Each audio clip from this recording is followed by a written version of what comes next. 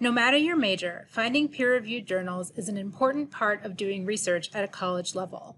This video will introduce you to different databases for research in the social sciences. Learning how to research properly transcends disciplines. That means that no matter what keywords I use in my examples, you'll be able to apply the same workflows to your own research. No matter what class you're taking, the first place we need to go to is the library homepage. You can type in the address in your browser or do a Google search for UMass Dartmouth Library. Peer-reviewed journals are located in our databases. No matter what subject you're majoring in, you should be able to find a database that applies to your discipline or use one that covers multiple disciplines. To get started, you can either click Search Subject Area Databases directly or find library guides for subjects and courses. If you aren't sure which database to use, clicking Find Library Guides for Subjects and Courses might be a good place to start.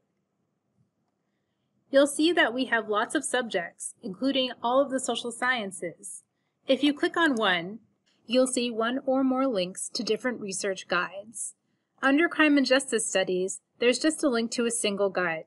If you click on it, you'll be redirected to a research guide that should help you find databases as well as books and other materials that can help in your research. To find appropriate databases for your research, click the Find Articles tab. Even though this is Crime and Justice Studies, every social sciences guide will have a Find Articles tab. From here, you'll see a list of recommended databases. This is a great jumping off point if you're unsure about where to start. The research guide also has my contact information on the welcome page. You can always email me to schedule an appointment if you need additional help.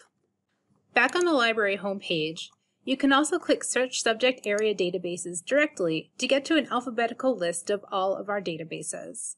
From here, on the left-hand side of the page under Specialized Resources, you can click Social Sciences to get a sense of the specific databases we have that contain articles across the social sciences disciplines. Every database title has an associated description that contains more information about the subjects and content located within each database. As you scroll through, read the descriptions and decide which database is most appropriate to the class you're taking or the research you're doing. I'm going to start on page 2 and scroll all the way down to SocIndex. You'll see that this offers coverage of all subdisciplines of sociology, including anthropology, criminal justice, political science, social work, and social psychology. This database is a great jumping off point to researching most disciplines within the social sciences, so let's give it a click. If you're off campus, you'll be asked to log in with your MyUMassD information. Once you're logged in, you'll see these three boxes at the top of your page where you can input your keywords and begin searching. You'll also see which database you're searching above the three boxes. Next to that, you'll see this Choose Databases link. If you click on it, you can see that you can actually add a whole bunch of other databases to search simultaneously with SocIndex. This is really helpful considering the social sciences are extremely multidisciplinary. So if you're taking a political science class, you can also add Political Science Complete. If you're in a Women's and Gender Studies class, you can add Women's Studies International, and so on. Once you're done adding all of the databases you want to search, click OK. If you click Show All, you'll see every single database we're now searching at the same time. Once you've chosen your databases, you can begin the keyword searching process. In the description of this video, I'll link to more information about how to determine keywords for your specific research topics. Just know that you shouldn't really put sentences in the search boxes. Instead, try to narrow your topic down to the most important words. Let's say my research topic is about the role of social media in young women's body image and self-esteem. The first thing I want to do is make sure the databases I'm using are the most appropriate to my research topic. In this case, I'm going to click Choose Databases once more and add something called Communication Source. If you click this little speech bubble, you'll see a description to the database, and you can see it offers information about media studies and other relevant disciplines. This will help me find more information about social media specifically. I'll click OK again and put my keywords in. Take a look at how I've structured my search and compare it to the guide about beginning your research linked to in your My Courses. Once you've put all of your keywords in and you're comfortable with how your search is looking, click Search. With the keywords I've input, I have 169 results from SocIndex, Political Science Complete, Women's Studies International, and Communication Source.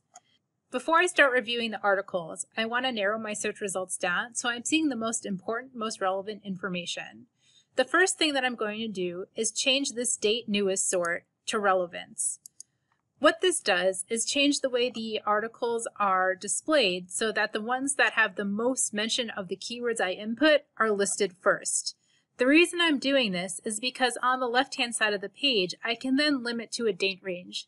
That means that even if I'm not seeing the newest articles first, I'm still making sure I've narrowed my results to the last 10 or 5 years.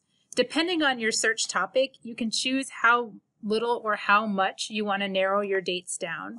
You've probably heard your professor talk a lot about finding peer-reviewed journal articles. I've listed more information about what peer review is in your My Courses library module, but what you need to know about your search results in the database is that under Refine Results, you can quickly limit to only peer-reviewed journals by clicking this box next to peer-reviewed.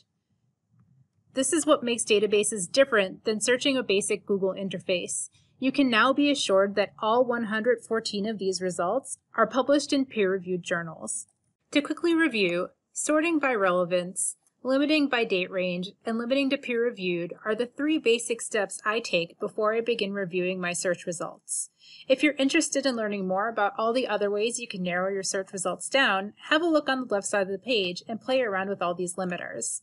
Now that I've limited in a way that makes me comfortable, I can actually start reviewing the titles of the articles and determining which ones I think may be of use in my research. The things I look for when skimming my article results include the date of publication. I'm trying to find something current, right?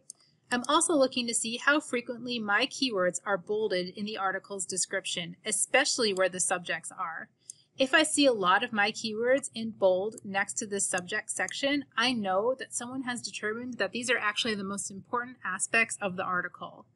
If enough of them align with my original keywords, then I can feel comfortable clicking on it and seeing if it's something I want to read. Let's take a look at number four, broadening the scope of social media effect research on body image concerns. When I click the title, I'm redirected to what's called a detailed record. A detailed record is exactly what it sounds like. It contains the most important information about the article in question, including the authors, the journal title, those subject terms I was looking at before, and an abstract. The thing about peer-reviewed journal articles is that they're not particularly easy to read and they can be quite long. An abstract is going to give you the most important concepts of the article quickly and in a more digestible form. If after reading the abstract you decide you want to read the article, you can click PDF full text on the left side of the page. Like I said, peer-reviewed journal articles are long. This one is 10 pages, but each page has two columns of text in it. That's why reading the abstract is so important and can help you do research more quickly and more easily. Most databases give you lots of options for how to keep an article if it's something you want to return to later. Of course, you can download it by clicking this arrow on the right side of the page. You can also print it.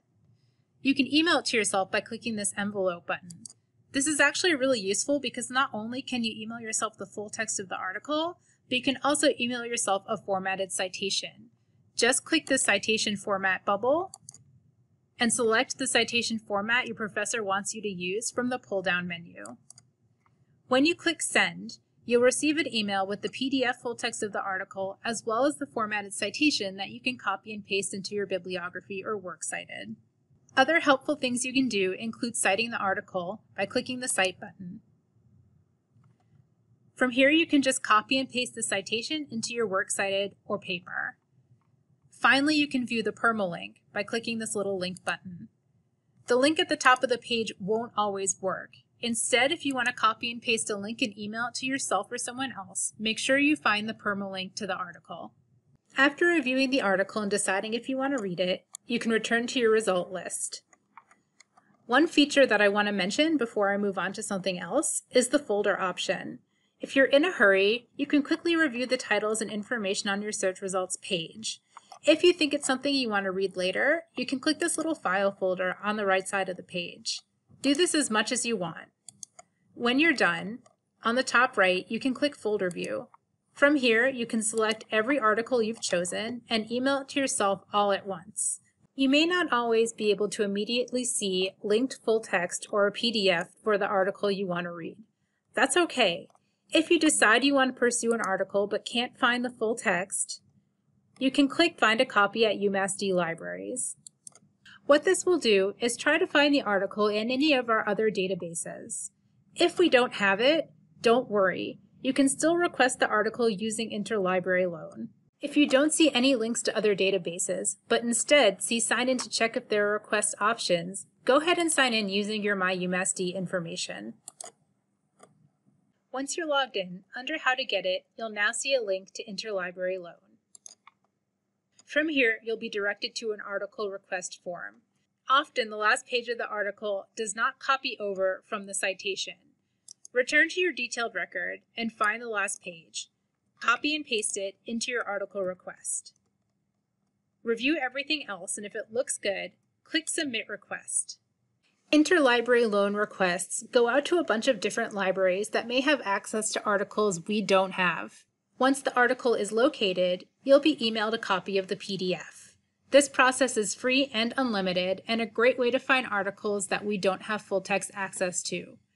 Sometimes if you're using Google Scholar, you'll find what you think is the perfect article, click on it, and see a charge of anywhere from 30 to over $100 for one view.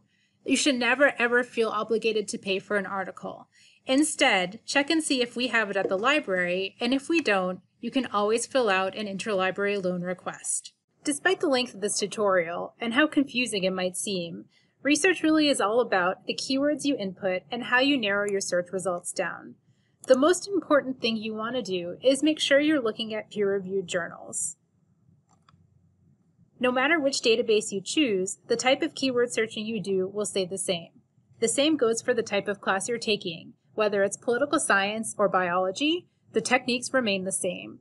What's most important is that you know you can always ask a librarian for help. I'm the social sciences librarian, so no matter what class you're taking within those disciplines, you can reach out to me and make an appointment via Zoom, or just ask me a quick question I can respond to via email. My contact information is in my courses, but you can also find it on the library homepage by scrolling down and clicking Librarian Subject Liaisons. From there, find the subject of the class you're taking, click it, and my name will pop up. Just click Send Email, fill out the form, and I'll respond as quickly as I can, usually between Monday and Friday from about 9 to about 5.